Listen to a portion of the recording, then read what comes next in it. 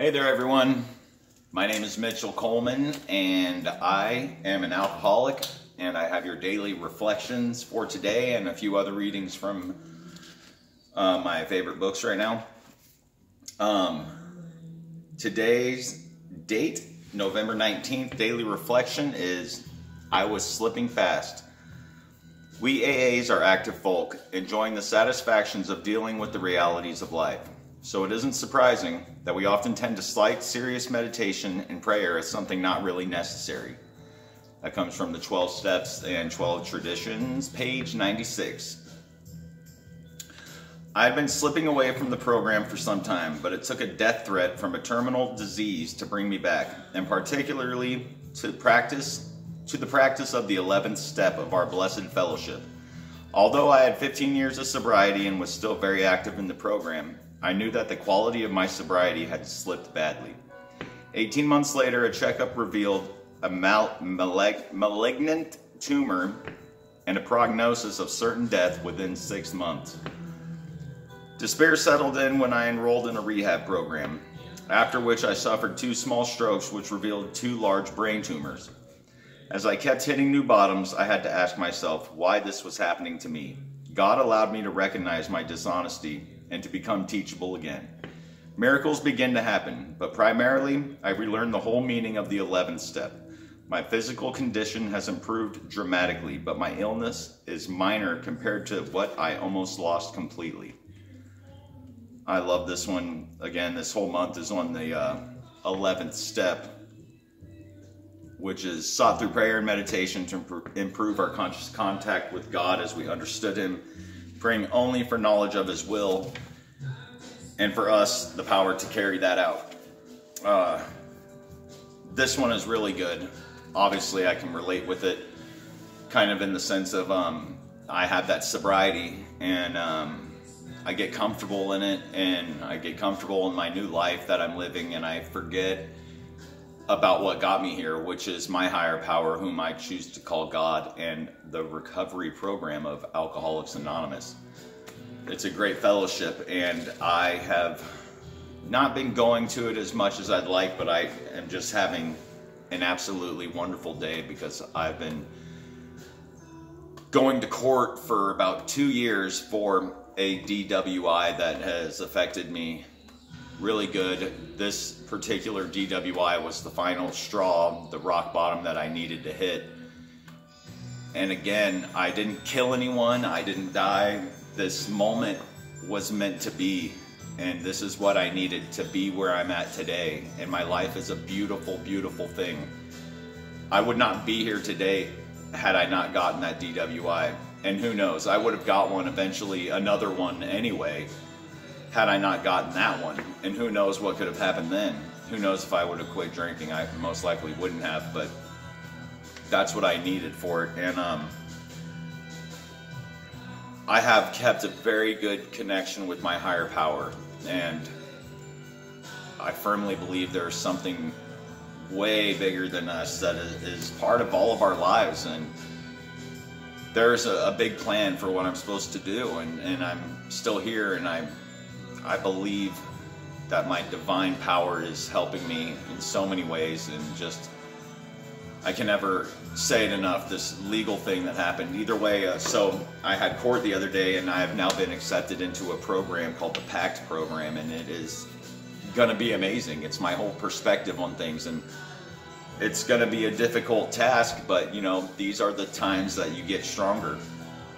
And um, I've I've not been this happy in a long time. It still hasn't really hit me. And, and again, it's going to be tough, but I know I can do it as long as I stay sober and I have my support with AA and my higher power and my girlfriend and my kids and my friends and family, my close family. And um, I could not do any of this without God. I, I know it. And um, I'm just so fortunate and blessed and so happy to have this chance to learn even more and continue in this recovery. But uh, either way, let me read a little more from uh, some other books.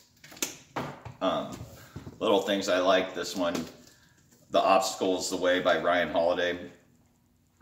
Um, these things just touch uh, touched base with me really, really good, especially today. And this one reads Whether it's pursuing the pinnacle of success in your field or simply surviving some awful or trying ordeal, the same approach works. Don't think about the end, think about surviving, making it from meal to meal, break to break, checkpoint to checkpoint, paycheck to paycheck, one day at a time. And when you really get it right, even the hardest things become manageable because the process is relaxing. Under its influence, we needn't panic. Even mammoth tasks become just a series of component parts. And this has helped me a lot. And this is the one day at a time thing.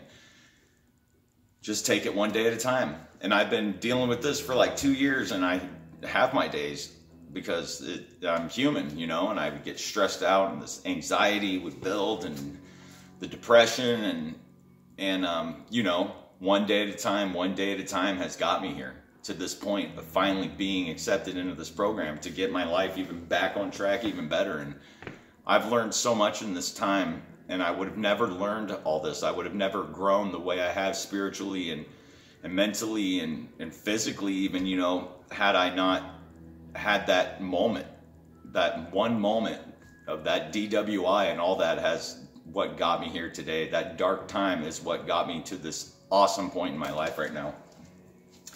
And also, uh, I wanted to read something from the Daily Stoic, which is um, 366 meditations on wisdom, perseverance, and the art of living uh, by Ryan Holiday and Stephen Hanselman.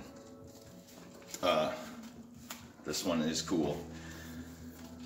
This is for uh, the meditation uh, November 19th, or the, yeah, daily meditation. Uh, these three quotes compiled by Epictetus Epictetus show us in wisdom across history the themes of tolerance, flexibility, and ultimately acceptance. Cleanthes and Euripides evoke destiny and fate as concepts that help ease acceptance. When one has a belief in a greater or higher power, be it God or gods, then there is no such thing as an event going contrary to plan. Even if you don't believe in a deity, you can take some comfort in the various laws of the universe or even the circle of life. What happens to us as individuals can seem random or upsetting or cruel or inexplainable, inexplicable, when in fact these events make perfect sense when our perspective is zoomed out even just slightly. Let's practice this perspective today. Pretend that each event, whether desired or unexpected, was willed to happen, willed specifically for you. You wouldn't fight that, would you? And that just brings me back to that moment, that DWI. I was talking to my sponsor, Ben, about it, and I was uh, saying, wow, it was a drunk guy on a bicycle that had rolled out in front of my truck, and I honked at him a bunch, and that's why I got pulled over. So I was honking at this guy because I didn't want to hit him, and he was going to get hit. So they pulled me over, for honking my horn too much, which is very dumb. You know, what else is the horn for? That was the initial reason they pulled me over. Of course, I shouldn't have been driving in the first place.